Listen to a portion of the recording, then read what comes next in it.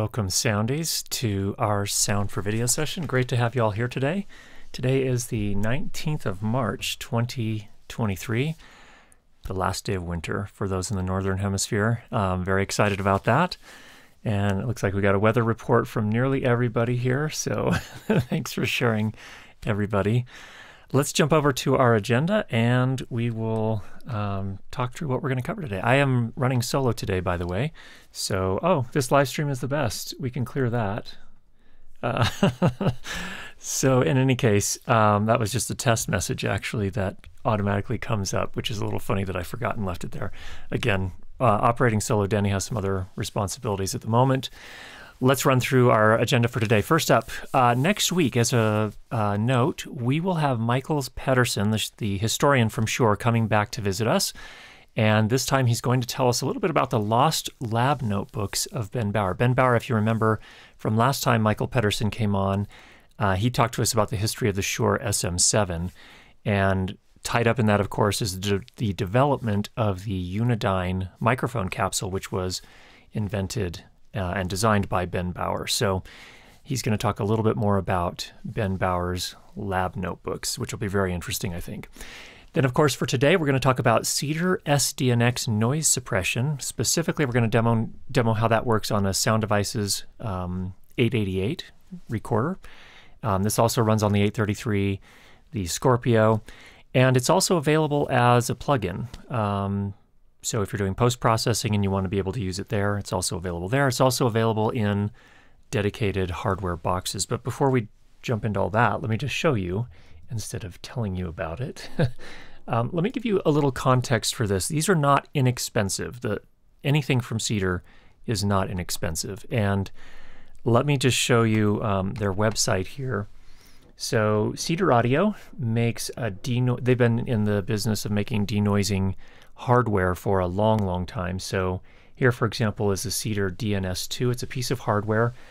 Um, production sound mixers in various cases have used it in their sound bags or on their sound carts to do noise reduction. It's also used often in live sound reproduction.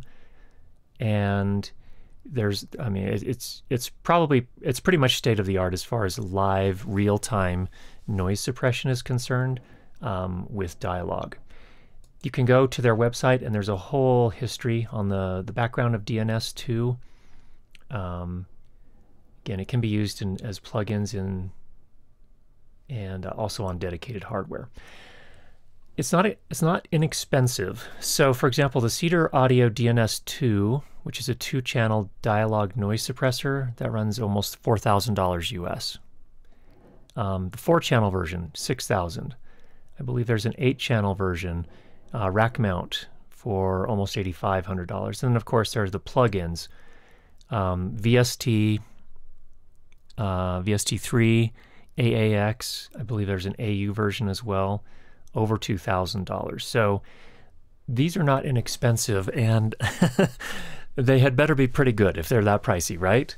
So this is what is available for the Sound Devices 8 series recorders, and let me just show you here. Today, in fact, what you're hearing is my microphone is coming in through input number one, and we actually should take a step back. Let me just show you here. I am using today a JZ Audio V11. It's a vintage styled large diaphragm condenser microphone. That's what you're hearing right now. That's coming over into the 888 into channel number one here. And that's what you're seeing represented here. I'm feeding left the left stereo mix out into the Canon C200, which is the camera we're using, and then that feeds into the ATEM Mini. And today, incidentally, the ATEM Mini, we're feeding the output of that into an Epiphan Pearl Nano encoder, and that's sending it over to YouTube. So that's what we're experiencing here today. All right. Um, so with that, if you if I'm going to go back over to the Mac, so we've we've got a little bit more context context now. For the plugin for the 8 series recorders, and you know, again, this is going to be the Scorpio 888 or 833. The pricing is $1,800 for two channels, $2,400 for four channels, or $3,600 for eight channels. So it is uh, less expensive than the hardware if you already have an 8 series recorder from Sound Devices. The nice thing about that as well is that you can put it, um, you don't have to put an additional piece of hardware in your bag or on your cart. It just sits, it, it runs on the, the mixer itself, which is really nice. So that's uh, that's the context here. So again, not trying to demonstrate this and say, hey, you should go out and buy this. I realize this is a pretty um, specialized tool for people that are working professionally and using recorder mixers like this. So there's also another question that came in. Leo asked this um, earlier: is what's the difference between Noise Assist, another noise plugin? In fact, if I come back over here to the Mac, we'll cut back over here. And if I go back, there's also this noise assist, and we actually did a video on that some time ago. Um, it's it's available both for the 8 series and in fact for the Mix Pre series. For the 8 series, if you buy two instances, that's $600. Uh, instances refers to how many channels or buses you can apply it to. So it depends on how many channels you need to. If you if you just need to apply it to the stereo mix, for example, you can do that with the two instance version. Um, and then if you need more isolated channels, you can do that. And one clever thing you can do in that case is that if you are needing, for example, to you want to apply different amounts of noise suppression to each to to if you have one channel and you want to apply different amounts of noise suppression to it, you can actually implement it on multiple channels and apply different amounts of cedar or or noise assist um, denoising. So in any case, that's how it works. Um, so what we have today is I have a, you can see it just over my shoulder here, right here is a filter, has a big fan in it, and we can turn that on and make some noise. So let me go do that first.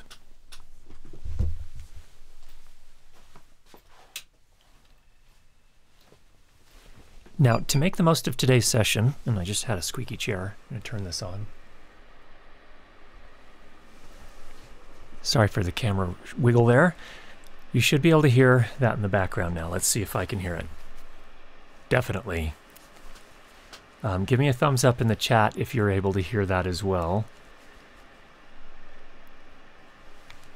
And let's see what we get here. Just confirming here that everything's going okay as far as the stream is concerned. Hopefully we're doing all right. Okay. We do have one question here from Christopher, and uh, I will come back to this. I don't know the answer to this right now, but I use Cedar DNS 8D daily, so that's the rack mount version, I assume. Curious about SDNX is what it's called, is the same algorithm with just the attenuation setting and bias fixed at zero, or if the algorithm is different from the hardware devices. I don't know the answer to that, to be honest, Christopher, and they're not particularly forthcoming with that information. Um, so I don't know. There is one setting, and that one setting is the um, is how much attenuation you want to do in terms of dB. So let's take a look into that right now. Let's go ahead and, and jump in. So I'm going to go ahead and switch back over to the camera here. There we are. Okay, so if I come into the menu here and come on down to noise suppression, whoops, go back, there we go. I can go ahead and turn that on. Now, I only have, I, am using the trial version here. I do not have the, um, I have not paid for it. I don't I don't need it normally, but if I did, I wanted to test it out, and they do have a trial, essentially a trial version here, so we can enable that. And you're going to hear a beep every 10 seconds, so I apologize in advance, but that's how it works. Um, if somebody wants to send over $1,800, I'll be happy to buy it, but uh, you will hear a beep every 10 seconds, warning in advance. Okay, it's now enabled. Let's go into the channel that we're working with. And what I can do is come right here. There's that beep. So we can apply some noise reduction. Here we go. Here is 10 dB, 10 dB of noise reduction using SDNX. Let me go ahead and turn that back off. As a comparison, there's zero.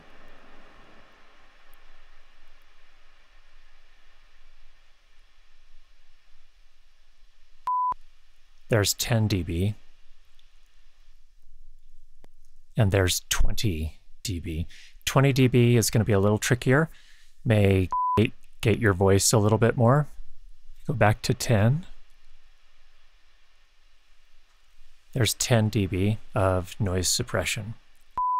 Okay, so let's let's go back and switch over to noise assist.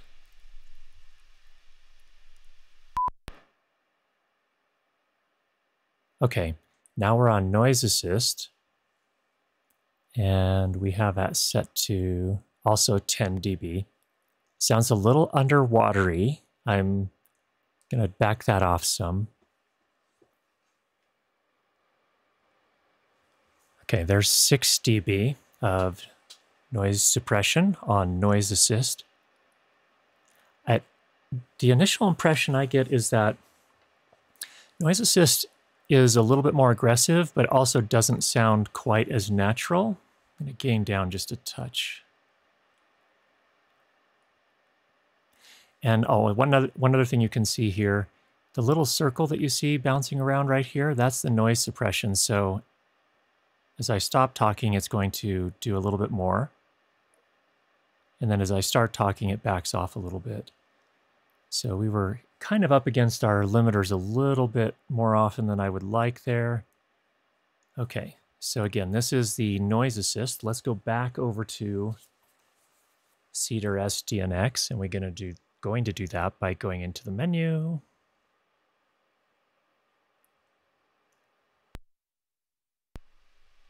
Okay. Here again is Cedar SDNX.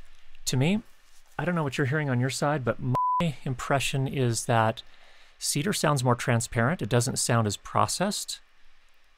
Um, it doesn't quite, it's not quite as aggressive unless you go to the more aggressive settings, but it, it tends to favor retaining the dialogue over eliminating all the noise, but it also does a very nice job of eliminating the noise.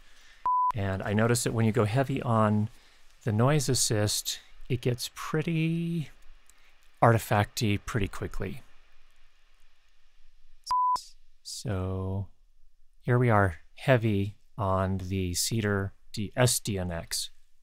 And to me, that, that maintains the transparency, transparency a little bit better. And drop that back down. Here we are at 10 dB of attenuation.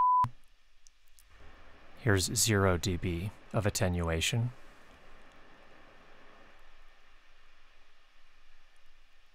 Here we are about 7 dB of attenuation. So that hopefully gives you a little bit of a sense um, in terms of how that overall sounds. So with that, let me go ahead and I'm going to go ahead and leave that on, I guess.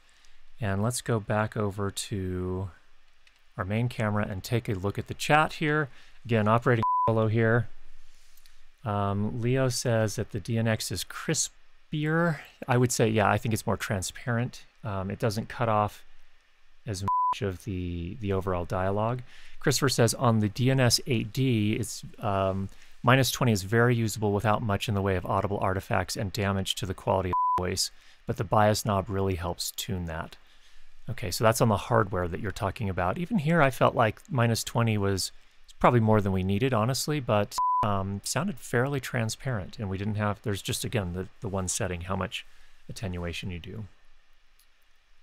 Um, here it says, Curtis, it sounds like someone stole your catalytic converter. Um, I don't know if that's, if you're referring to, yeah, anyway.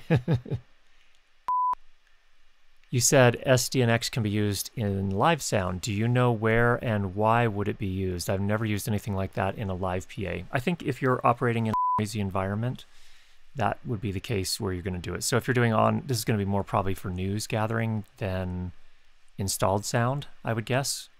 Audio, just to kind of clarify that. Um,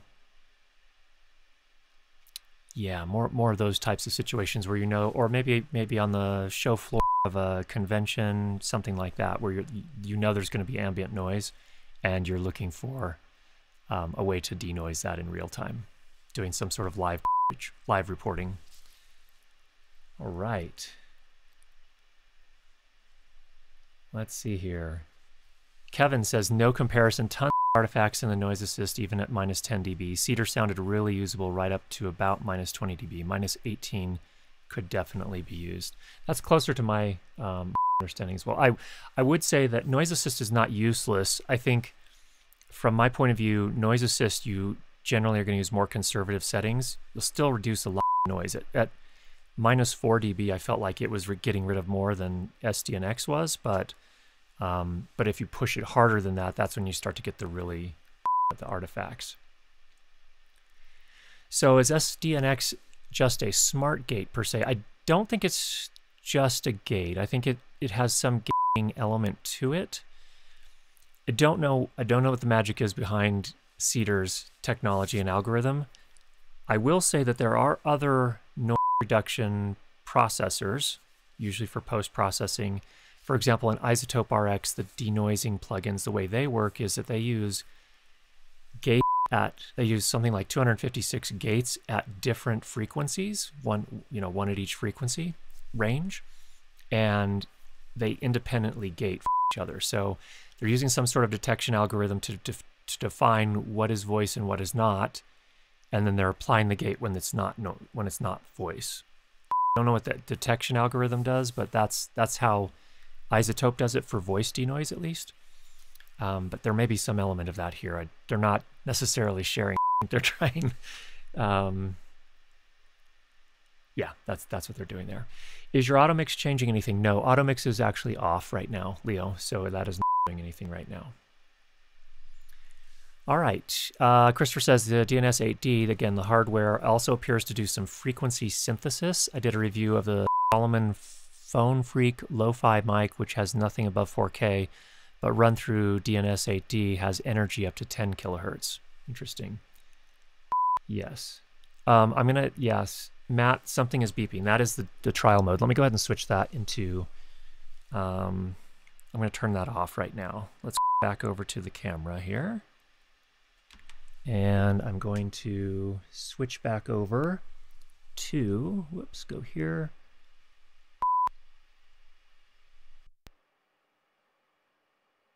Okay, we're now back on noise assist. And we'll go to minus 4 dB. Sorry for the beeping there. That is the trial mode. Again, didn't have $1,800 to, to buy that. All right. Christopher notes, one of the sponsored artists for Cedar is WWF, where they do live in stadiums with poor acoustics and lots of crowd noise and need clean audio from the the actor or I would assume the announcer. Um, okay, yeah, that would make sense there. Uh, Cedar is not just a smart gate from my testing, very protective of their secret sauce, of course. All right. Ah, Shoji said at your this is this is actually noise assist, not SDNX at this point. I know there's some latency between the comments, but just to be clear, right now you're listening to noise um, noise assist and not SDNX. And Shoji said he heard some pumping. Pumping, what that means in practical terms is sort of you could hear the, the gate reducing the noise and then not reducing it as much and then reducing it more and then not as much so on and so forth. Okay. Uh, latency in this implementation of um, Cedar SDNX is evidently very low. Let's go back to the Mac and see. I don't remember what it said. Um, I just realized it's pretty hard to run a live stream like this alone. Here we go. We'll cut back over. Um, all right. Let's see here. Is there any mention of latency here? One millisecond of latency. So that's going to that's going to be pretty good. You're not going to run into major issues there with that amount of latency. And I think the same is, is true of noise assist. Again, different algorithm that was developed by sound devices as opposed to Cedar audio. Um, and again, what you're hearing right now is the noise assist plugin. Um, Shoji says, hear the fan noise pumping when you were last using SDNX. Let's go back and listen to that again. So I'm going to cut back over to the camera. There we go. And right now we're at minus 4 dB. Let's come on over into here. We will change. Again, you're going to hear some beeping. Again, that's every 10 seconds there's a beep to indicate that we are in trial mode for Cedar DNX, SDNX, I should say. Okay, so now we are doing minus 4 dB of suppression on Cedar SDNX, and that's what you're hearing right now. Just going to be quiet here for a moment to see what happens to the fan noise.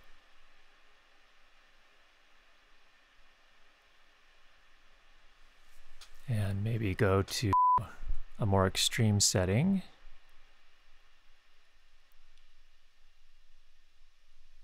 There's minus 10. Okay. What happens when there are discontinuous noises? Footsteps, claps, bumps, other noises. Here's a snap back behind my back. I'm going to keep talking and then snapping behind my back. I think you're still, I'm still here. I think I'm hearing that. Curious if you all are hearing that. Uh, claps behind my back, and then some footsteps. While I'm talking here, go ahead and do some steps as well. I think it's going to be most effective for fairly continuous noises, like fans, like uh, maybe the low rumble of a crowd or a show floor, that type of thing. So there's an example there. Again, we're at minus 10 right now. We can go back off a little bit to minus 4. Okay. Yeah, we're hearing all of that. So it's a, I think it's important to understand the limitations of things like this. These are not, uh, let me turn that off. That's a little bit annoying for y'all, I'm sure. So we will go ahead and disable that. Okay, and here we are back with no noise reduction at all. Okay, um, let me go ahead and turn the fan off.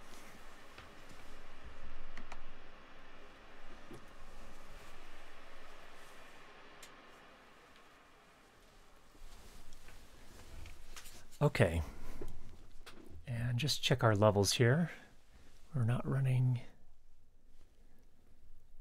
Okay, there we go. I think that's about where we want to be. Okay. All right, so there is Cedar SDNX on the Sound Devices 888.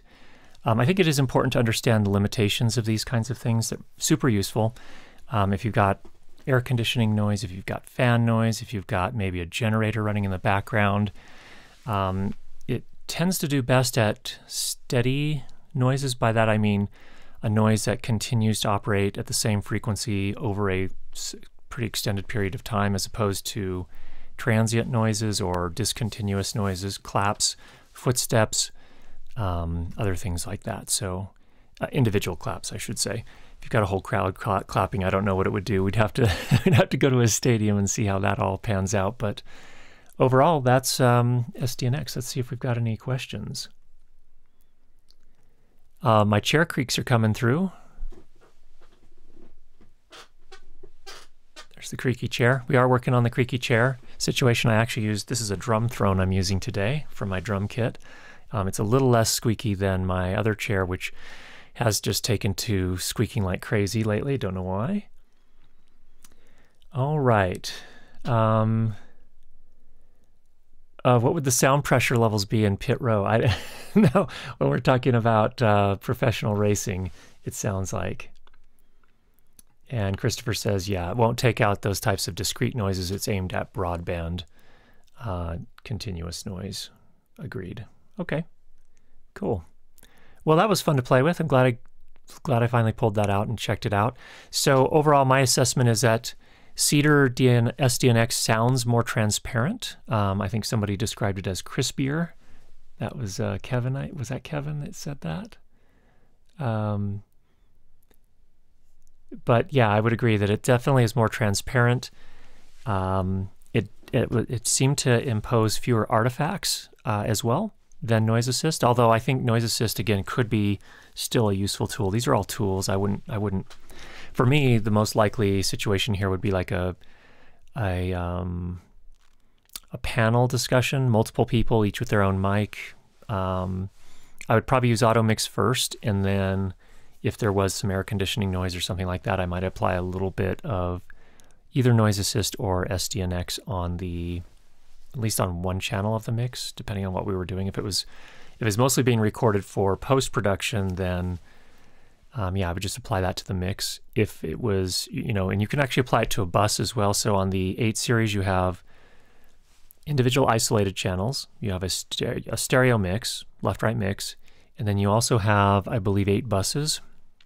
So you can do, you can apply the instances to any of those, up to however many you have licenses for. So that's that's the idea there, and um, I think it again useful tool, but this is something I want to. I was musing on this morning. Danny and I were actually talking about this. Um, these are useful tools. They're not for everybody. You don't need them all the time. You don't need them if you're making YouTube videos, probably. Obviously, at this price point, people that are making YouTube videos non professionally, you know, for fun or maybe for your own individual channel with a lower budget, not the tool for that. Um, but if you are doing uh, any sort of professional sound, that is, you're getting paid to produce the sound for a show of some sort, that's where these types of things start to make sense. And again, I'm not here to convince you to go out, run out and buy all of this stuff. I'm here to just demonstrate so that someday, if you are in a situation where you're going to be working on some sort of production like that, you're aware of the tools that are out there and you're aware of their limitations and what they're good at. So that's the main idea of demonstrating things like this. All right. Um, the other thing I was thinking about in, in, in the con in a kind of a similar vein was 32-bit float audio recording, which again, I most of the manufacturers have taken to using that name for describing what I would prefer to call wide dynamic range audio recording. 32-bit um, float is just the name of the container that they're storing the audio information in, but I don't think that captures it because that's just a storage format, basically, uh, like a, a standard for a way to encode that type of information, wide dynamic range audio. But if your signal chain earlier than that, your microphone and your analog to digital converters are not capable of capturing that, you know, a really wide dynamic range, then 32-bit float is on its own not not super useful, but not super useful just for capture, I should say. For processing, that's a different story. Um, it's always nice to have 32-bit float for processing because when you do make some processing changes, you can always dial them back without losing information. Um, however, my, my whole point on 32-bit float was I see 32-bit float as a tool as well, but it's depending on what you're doing, it's a it's a dispensable tool. audio engineers have been recording digital audio for years and years and years without 32-bit float, wide dynamic range capability and doing just fine. Um, so there are situations where I think it's helpful as well, though. Um, again, if you're a solo operator, I would still very much encourage people to learn how to set gain um, because you're just pushing the problem to post. And what I have found is that on some of the implementations, some more than others, um, that when you record and you exceed 0 dB in a 32-bit float recording, the converters don't, I don't know, something doesn't sound the same. Something doesn't sound as nice, as clean. It starts to take on some distortion or something. So I see 32-bit float recording for mostly spoken word types of situations as a safety net, but not as something to just turn it on and forget it. Um, I think you should still set the, you know, depending on how it's implemented, you should still set the levels to reasonable levels. Um, so those are some thoughts there. I don't, I'm not going to take the stance of you should never record in 32-bit float, but I'm also not going to take the stance of 32-bit float is a game changer and nobody should be recording anything without it. Um, it's just, it's a tool. If it's suiting your particular workflow, then use it and understand it, understand how it works, understand whether you're still getting the same results if you push it hard versus not pushing it as hard. Um, and then it, then it will serve you well as a tool. So, all right, let's go back to the chat here and see what we have going on here. All right. Yes, I agree, Shoji. They definitely sound different. So noise assist sounds, um, when you push it hard at least, it sounds a little bit more like there's a pillow on top of the person's mouth as they talk. SDNX definitely sounded more transparent. But again, if you if you go lighter on the noise assist settings, I did find it still very useful.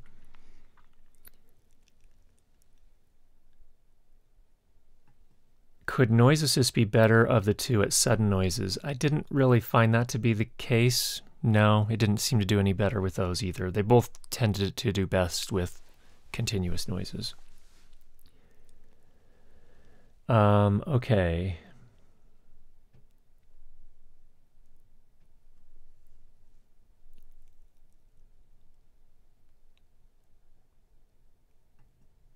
Okay, so Christopher made a clarification here. Cedar will tell you to reverse that. Specifically, when I was talking about uh, doing a panel discussion, I would I talked about using auto mixer. They they would actually apply the denoising first and then the auto mixer. So if that makes sense, I would definitely see that. So you're going to get a cleaner auto mix if you do the cedar first, the denoising first. Interesting. Okay. Yep.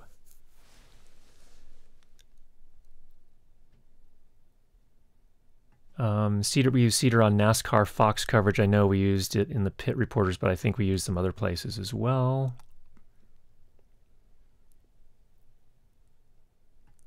Um, Shoji said, I think Noise Assist did a very good job at reducing the fan noise. I agree.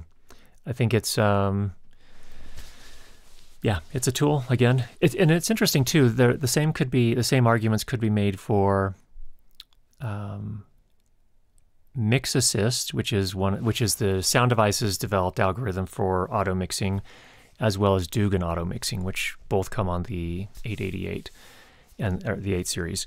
And I would say in those cases that it's a similar type thing where I felt like Mix Assist was more aggressive and was able to, you know, would attenuate the microphones that are not being spoken into currently a little bit more aggressively, so you got a cleaner mix. However, I did think that Dugan auto mixing sounded more transparent.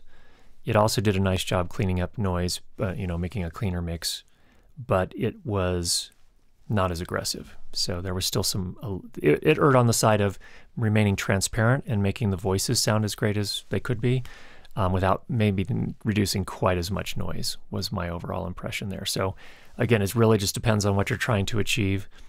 Um, so each of them have their place.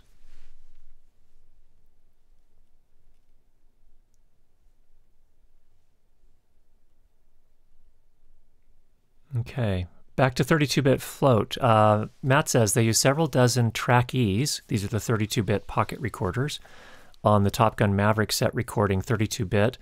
I heard an interview uh, in an interview with the sound engineer. Yeah, for sure. It's a tool in those cases. When you're going to put a body pack recorder on somebody and you don't have the ability to monitor them, that's where 32-bit float is probably more useful. Yes, completely agree there. Um, Mark says, I'm curious how the MixPre Noise Assist works on, on the 888. I used Noise Assist quite a lot, but conservatively on my MixPre. Um, my understanding is that they're the same algorithm, so they should be very, very similar. I haven't done a head-to-head to compare the two, but um, pretty, pretty much the same algorithm, so results should be pretty much the same.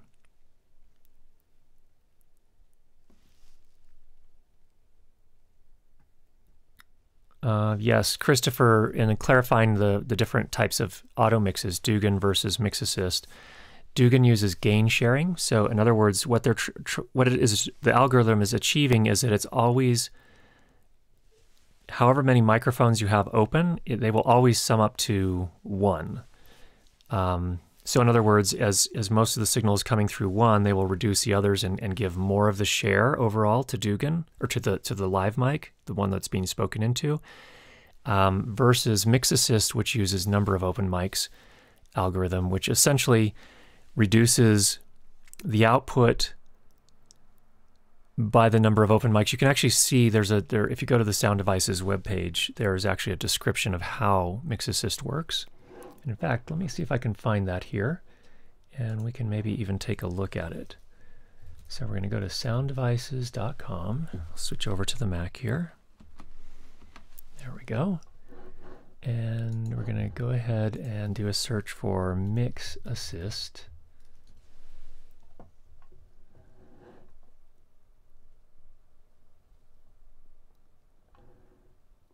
And I think it was in this one. Let's take a look. I think in this one they had a description of how it works. Yes, about Mix Assist, page four. Okay, yes, it uses actually five principles a noise adaptive threshold. So for each microphone, an ever-changing automatic threshold is continuously calculated. The per channel threshold has a slow attack and a very fast decay. When an incoming microphone signal is instantaneously above this threshold, it can be turned on. Steady state sounds, air conditioning, etc. will not turn on a microphone, only varying speech-like signals. So that's essentially kind of like a gate. Max bus is the envelope of all microphone signals is logically ORed together to get the instantaneous peak of the loudest microphone. Each microphone envelope is continuously compared to this max bus. If the envelope is greater and it meets the above NAT criteria, then it is gated on. If a talker speaks into two or more microphones, it will only gate on one of the microphones, eliminating any comb filtering. The last used microphone remains on, creating a seamless mix so that you don't get a complete dropout of sound like, like room tone. Go ahead and take Christopher's note off the screen there. Um, you also get, when a microphone is turned off, it does not turn off, it does not turn all of the way off. Instead, it is attenuated by a certain amount, typically 15 dB. This results in a more transparent sound. So that's that's an example there where that differs from Dugan, which Dugan is going again, it's going to be doing a, a, calculation to make sure that all of them add up to a sum of one or 100% at any given time. And then you also have this number of open mic attenuator. So for each doubling of the number of open microphones, the gain is attenuated by 3 dB. This maintains the total gain throughout the system at 0 dB. So the idea here is if you have multiple people talking at the same time, it's going to reduce them some as well. And this is, I think, the main operating principle of Dugan, if I understand correctly. So there's some nerding out on automix algorithms. All right. Is there any chance Sound Devices will port Cedar over to the MixPres? I doubt it, um, but I don't know. I don't have inside information, Kevin, on that, so I don't know for sure. Uh, yes, I am doing this solo today, Diesel. Uh, Danny had some other things she had to attend to.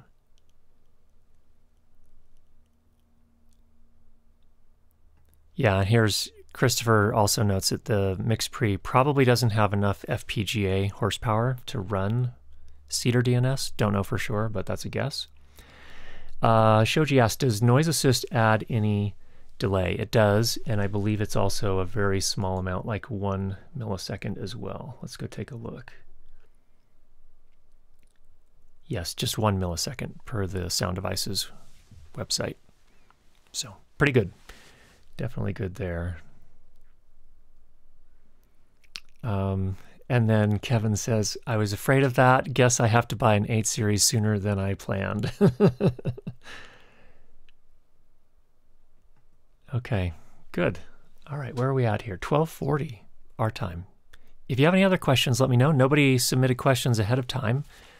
So we have some time for other things as well if you wanted to cover other topics. Um, again, just to, to circle back for those that weren't here at the start of the stream, next week we'll have Michael Pettersen, the historian from Shure Microphones, coming on to join us again. And we will be talking this time about, or he will talking specifically about the lost lab notebooks of Ben Bauer. I, I somebody found him. I think it might have been him actually. Ben Bauer is the one who developed the original Unidyne microphone capsule and the Unidyne 2, I believe. Can't remember if he was involved in the Unidyne 3, um, but those dynamic microphone capsules were largely pioneered by Shure, and uh, Ben Bauer was the one behind most of them. There were some lab notebooks where he kept his own notes as he was, was experimenting and developing the microphone capsules. Um, they were lost and then more recently have been found. And so there's going to be some interesting stuff there that we'll get a chance to talk about. Again, that's next Sunday at this same time on the live stream. All right. All right, Darren says, for our video conference voice live capture, we have had good results using Brushfi, Brushvi noise reducer to minimize HVAC server room fan noises. We have a few mics with Brushfi enabled in their firmware. I apologize if I'm pronouncing that incorrectly. It's an interesting name. Um, okay, so those mics have it actually built into them, which is interesting. All right, Daniel James asks why this particular microphone today. So this was a microphone that was sent to me by JZ Microphones. They're a company based in Latvia. They're they make uh, all of their microphones, I believe, are large diaphragm condenser microphones. They're primarily for music, but also I think could be very good for spoken word audio as well. Um, this one is the Vintage 11, and it has a, a, voicing that is supposed to sound kind of vintagey. If I get up really close on it, you get a lot of proximity effect. It does have a little bit of a, a bass boost to it, and fairly dark on the top end, or at least neutral on the top end relative to a lot of other microphones. So we're getting ready, we're going to review it at some point, but I just thought I'd put it to use today as a start just arrived this week. So that's why we have that here. Um, and what happy coincidence, Sound Devices is doing a live demo on the 8 series right after this stream on their YouTube channel. So there you go. All right, can we talk about sound treatment on location, specifically sound blankets, and how to find optimal placement on site? Example, using Lav and Boom for interviews, reverberant room. I could talk about my experience with that, Mark. So, what I typically do is I, I the ideal thing is to put the boom up on a stand if it's going to be a seated interview, so the microphone's not moving anyway.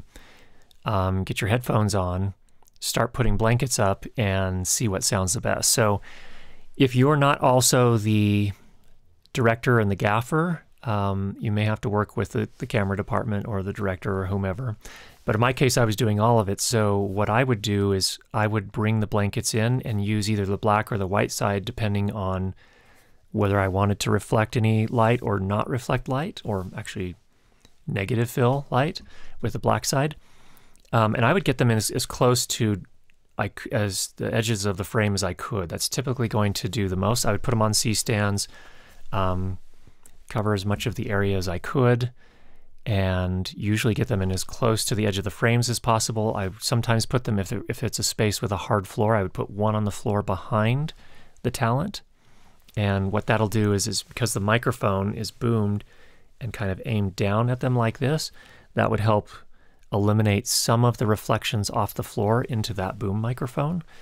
So that's another technique that I've used. And then also you can put them up right by the camera. Like if, if, if, if, my eyes are the camera lens, you can get them up like this as well to add additional treatment if you need to. But that's typically how I approach it, especially you're here talking about uh, interviews. Also, if you're in a really reverberant space, a lot of times the lavalier microphone is not going to pick up as much. You have the the person's body is naturally going to block some of the sound from being picked up by the microphone from the back.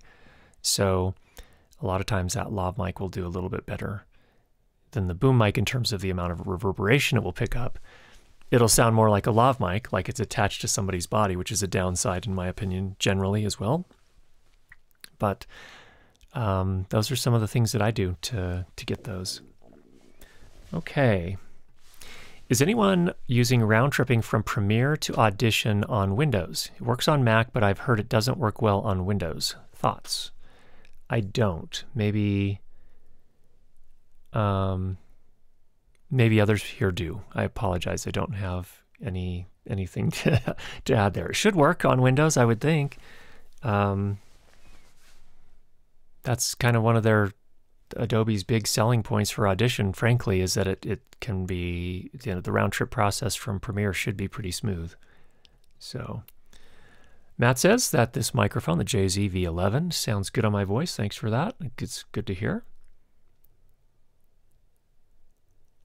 Um, I'll help sponsor next week's two hour broadcast special. um, Shoji asks, good sounding mic. Are you doing any audio signal processing? Right now, we just have a limiter on. That is it.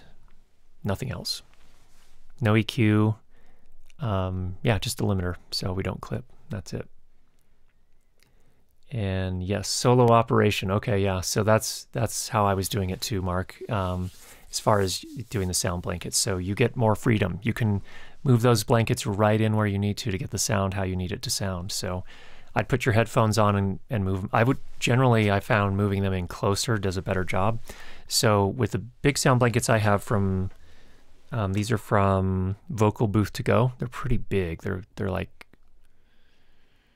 eight feet, uh, I think eight feet wide pretty long. Not sure. I've actually folded them in half, put them over the boom of a C stand, and then hoisted them up so that you know we would uh, we would catch as much as we could, cover as much space as we could.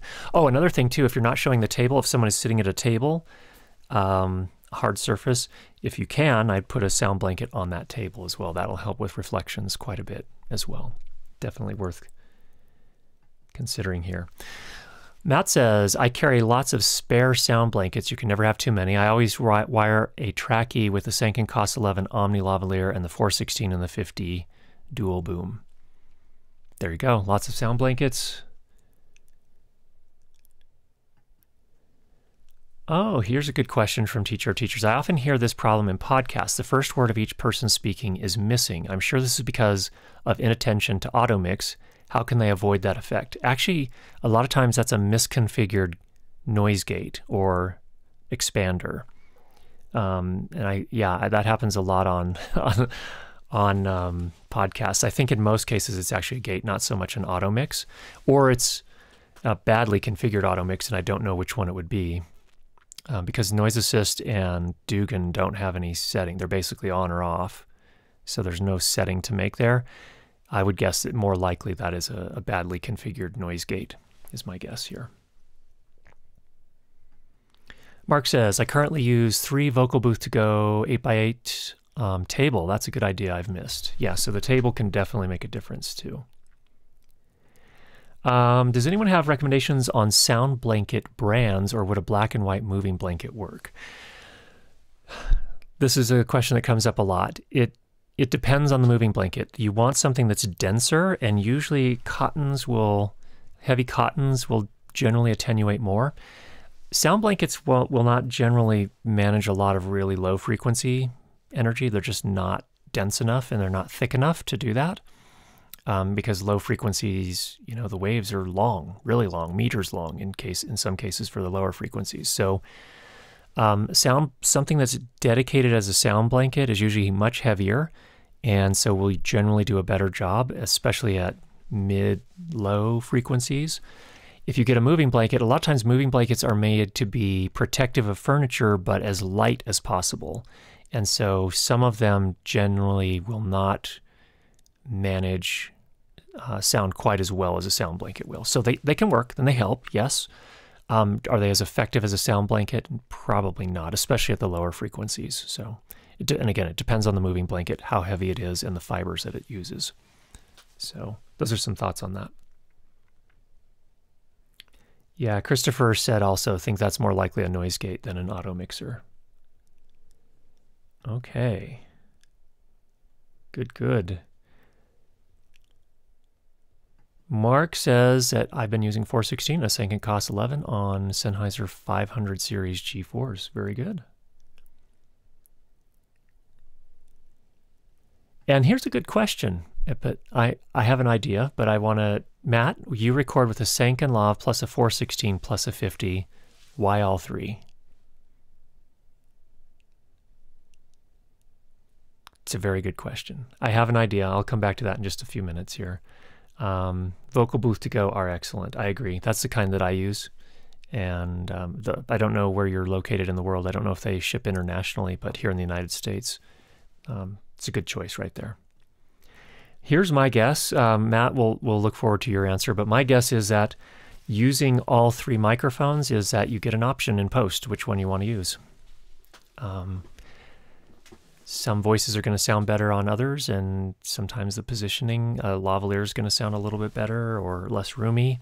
We actually kind of heard some of that last week when we were talking about auto align post. Um, I always, always, almost always feel like this, the boom microphones sound more natural, but in an, in a reverberant space, they'll generally pick up more reverb than a lavalier microphone will. So it's a trade-off, and you can potentially mix them if you choose to. That's an option. So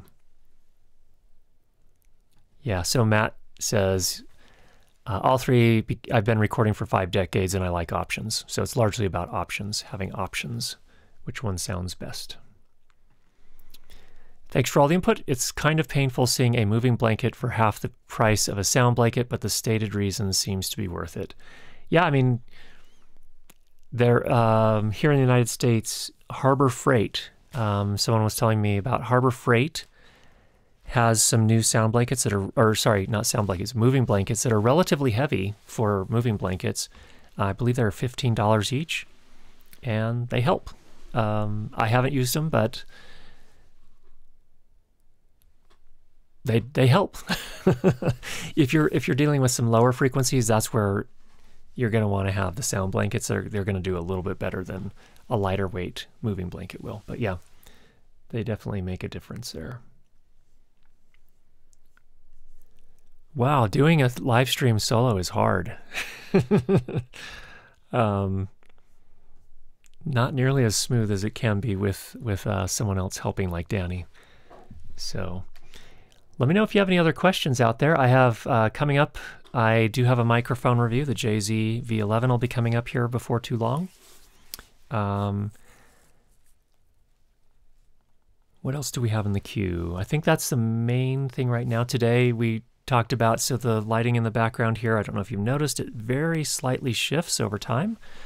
Um, that is the Amaran pixel tube back there. That's the four foot one that's hiding right behind these sound panels right here, casting the light up on the door in that area there. Pretty good little lights if you need effects lights, and they can do all sorts of fun stuff. So that's pretty cool. Um, all right. Sound blankets are the kind of thing that lasts forever, so cry once and all that. In other words, it's worth the investment. I spent $350 and I got six big sound blankets and they have I've had them for coming up on 10 years. They're doing just fine. Yeah. And that's that's a pretty small price to pay. Most of us are many of us are paying way more than that for a single microphone. And frankly, a sound blanket is a tool you're probably going to use most of your career if you keep them dry and definitely worth it. I, I think my clients like to place me in the least desirable location. I've noticed that lav mics uh, wins the echo war a lot. Absolutely. Yeah. And that's part of the challenge if you're doing corporate types of videos with interviews. A lot of times you're working in offices that were not designed for acoustics. Um, then that's pretty standard. That's the same thing I fought with all the time. If you can have, you know, if you're working with the same client and you and you have a couple of options at least, um, maybe that can help in some cases. And agreed with uh, Matt, a moving blanket is better than nothing. All right. Here's a good one for Matt. Um, good to have options, but which of the three options do you most often use? That's a, that's a good one. Uh, teacher, teachers, I once had to revisit a place to reshoot an interview because something happened with the lav. I have, had I been running a boom also, I would not have had to do a reshoot. Never again. That's why we, yep, that's exactly why we do both. No Neve Shelford channel in the mix today. That's correct. No Neve Shelford channel in the mix today. No compression, just a limiter. That's all you're hearing today. So it's probably a little quieter today than typically. Um, Darren asked if I have any picks for March Madness or anyone else out there has picks for March Madness. I do. I have not followed it at all, Darren. I, I hope that you'll still respect me, um, but I have not followed. All I know is that uh, Danny's father taught at Purdue previously, and then he, then he taught. He finished his career at University of Utah, but taught at Purdue, um, and that there was a massive upset for Purdue. That's all I know so far. All right. Matt says MKH50 is what I would pick most. The Lav uh, will win with rush jobs. Yeah, that makes sense. That definitely makes sense to me too. I actually, um, you know, now that we have auto align post, I, I think I'm probably going to be experimenting more with mixing lavs and booms together where it makes sense. Depending on the situation, but that gives you another option there too, which I like quite a bit if you get clean audio on both of those. Um, uh, Shoji says thanks for the practical knowledge, and Matt says yes. Five decades of things going wrong. It's true. The best engineers are the ones who have learned from their their mistakes and learned from the issues that have come up. Um, and that that's really the hallmark here. Learn learning from your mistakes and building in processes to prevent those mistakes from ever happening again, or or issues arising that you didn't anticipate and being ready to address those those issues is a, is a sign of a very experienced engineer. Um, since we are doing confessions, I forgot to hit record and had to bring the talent back for an entire interview yeah, not bad idea to have a checklist of some sort. Um, okay. And then here's a thought for you, Matt Ruff. Any thoughts of replacing the 50 with the 8050? I've actually I have found that they sound remarkably similar. I feel like the 50's polar pattern is a little bit narrower, possibly just a tiny bit, but they sound very, very similar. So, um, what other projects do we have coming up? We've been on kind of a lighting kick lately. We're going to have probably one more lighting video, and then we're going to go back to sound uh, on the main channel. So next week there'll be, I think, it depends. It depends, but I like, I think I like this microphone. I'm curious, what does everybody else think? Is it, uh, yeah, no processing whatsoever. So, um, all right.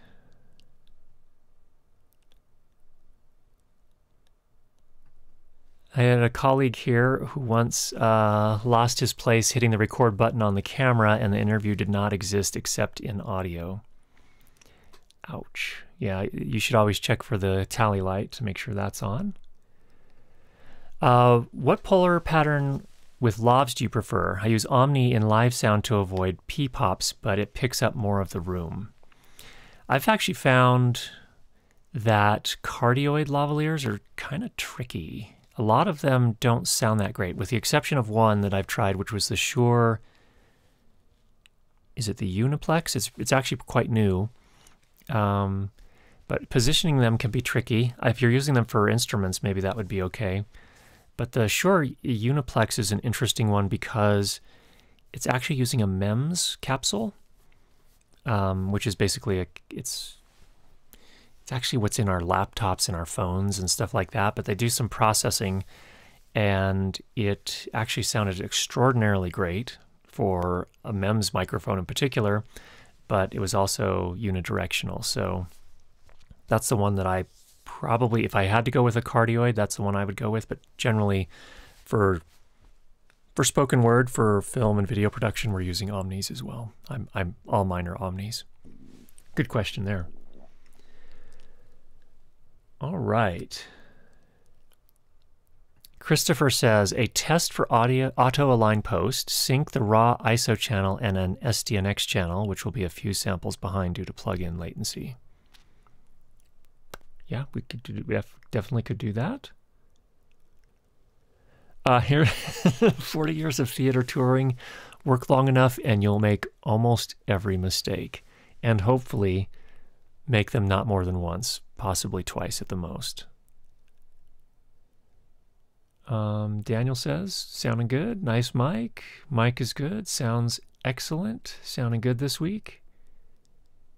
New mic controls sibilance well. In fact, that's um, one of the things that I talked about when they contacted me and they said, hey, we have all these beautiful mics. How, how would you like to review one?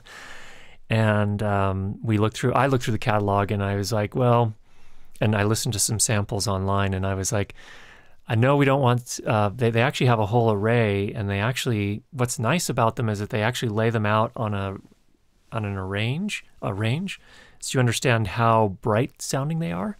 And this was the least bright sounding of them. So it handles the, the, um, the sibilance pretty well. Twinplex. No, I think it's actually Uniplex. Um, Uniplex is the one uh, if you're looking for a cardioid. It's a pretty good mic. I actually was going to review it, but I didn't have the Shure system to support it, and they weren't able to terminate it in audio limited for um, with the audio limited form terminations. So I didn't end up getting to do a review. At some point, I probably should buy a Shure wireless system just so I can test that stuff. Um. All right, so Shoji says the 50 is an industry standard, but the 8050 seems to be a newer design with a flatter response. Yes, it sounds remarkably similar. Um, the, the difference is very, very subtle. It's much smaller, so if you're going to be hand booming it, there's an advantage there for sure. Although I think that the 50 does better at handling noise, at managing handling noise, than the 8050 does actually. It's my overall experience. All right. Uh, Shoji says, good, sounds good on your voice. Nice full sound, good intelligibility. Sound is good. Very good. All right, my friends, it's two minutes after the hour. Danny's not here to say, shut it down.